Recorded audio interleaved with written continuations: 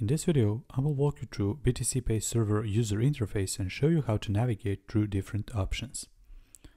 After you created your account on BTC Pay server, hosted by either yourself or a third party, you'll see a variety of options appearing here in the menu.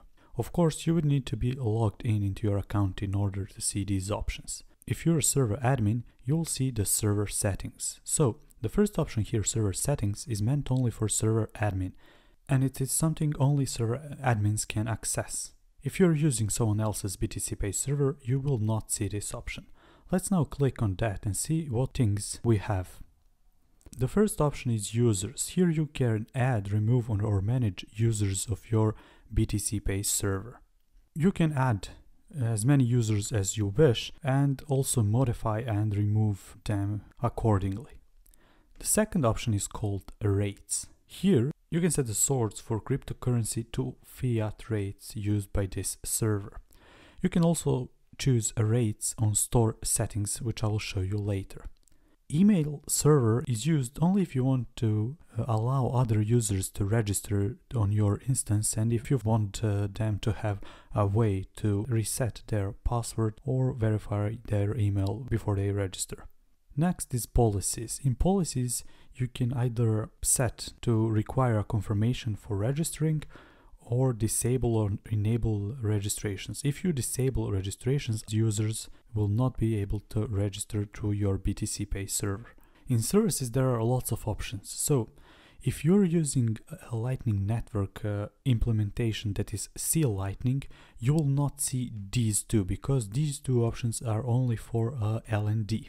And the third option here is your BTC Pay SSH keys. SSH keys allow you to update your BTC Pay server through maintenance, which I will show you in a moment, without ever having to uh, log in into your virtual machine. So basically this here allows you a very easy way to update and maintain your BTC Pay server. It is very newbie friendly. Let's now go back to first two options. The first one here is if you want to expose your gRPC and connect your uh, LND Lightning Network to a certain wallet. And the second one is if you want to connect LND via the REST API. If by any chance you wish to modify appearance of your BTC Pay server, you can do that here. But that's not something that is important. The most important option in all of these settings is maintenance. So here you can uh, change the domain name of your BTC Pay server if for some reason you wish to do that or very important you can update your BTC Pay here. You can just click it, update and your BTC Pay server will update. Uh, of all these settings, please remember the maintenance because that is uh, what you will use quite often to keep your BTC Pay server up to date. Hangfire is something that will be removed so I will not cover it in this video. Inside BTC Pay you can create and manage an unlimited amount of stores. Each store has its own wallet and you can create uh, apps like point of sale or payment button. More importantly, you can pair that store with one of your e-commerce integrations such as WooCommerce, Magento, Drupal or even PrestaShop. You can create your new, new store by clicking here, give your store a name and click create. Now that you have store, you'll see a bunch of other options opening inside store settings. So inside general settings, you, you can configure settings uh, for individual stores.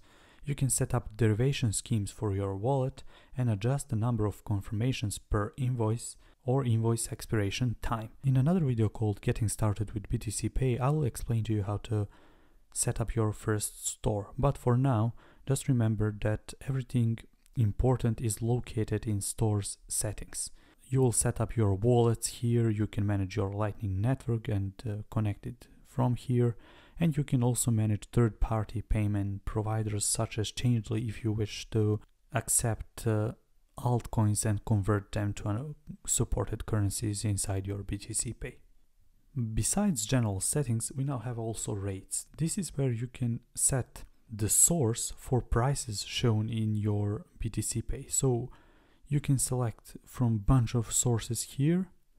If you have no idea what this means or wh wh why you need it, just leave everything on default. In checkout experience, uh, you can customize the appearance of the checkout page which will be shown to your customers. You can paste a link to your custom logo or to custom CSS style sheet. I'll leave a link in the description of this video which will show you how you can customize your page here. Access tokens are used for pairing your uh, store through one of the BTC Pay e-commerce integrations or any other integration. So you can create access tokens here.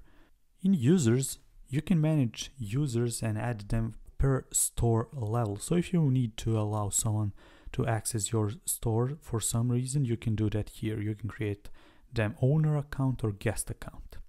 Right now we have payment button here, but uh, most likely it will move from here, so do not worry if you do not see it. I'll also leave a link in the description of this video how you can create a payment button, but for now, you should know that if you want to create easy embeddable HTML button which will allow you to receive donations or payments, you can do that here. Okay, I covered store settings and let's now move to apps. Each store has access to different apps built on top of BTC Pay to extend its use case and functionality. You can create a point of sale app, for instance, and click create. In this video I will not go much into creating the point of sale app, but you should know that if for any reason you wish to have a point of sale, you can do that here. BTC Pay server also has an in internal wallet. So in internal wallet you can see the entire transaction history. Remember that this internal wallet does not have your private keys. You can only use it if you have a Ledger Nano S and your private keys are never ever uploaded to BTC Pay server. So basically you're just signing the transactions from BTC Pay server with your hardware wallet. Inside invoices, all of the invoices for your user account will be displayed here and you can filter the invoices by status or by store. You can also create invoices manually by clicking a create new invoice button. Invoices are sorted by date from new to old. Of course, in this video I have no invoices to show you, but you will see them listed here very neatly and you can preview a particular invoice if you need more information than what is displayed here. Our final option is My Settings. When you click to My Settings, this is your user account settings. You can change your email, password, but what I would like to show you is two-factor authentication for your account. And I really recommend that you enable this and use an two-factor authentication apps such as Authy or if you really have to use it you can use Google Authenticator or any other two-factor authentication app to enhance the security of your user account. So that is uh, everything in this video. I hope you understood options and differences between the, the options a bit better. I'll see you in the next video. Bye bye.